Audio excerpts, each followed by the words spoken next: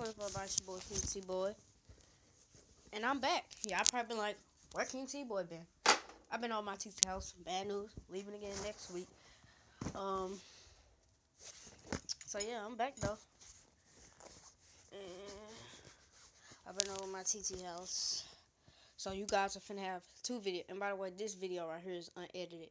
You finna have two videos because that's that video is gonna make up from you know me not giving you videos in like two or three days. So you're gonna have two videos today, just in case you wonder why we had two videos. You're gonna have this one and the one that when we still in Sikeston, because I, I still want you all to see all that. I got on first press up.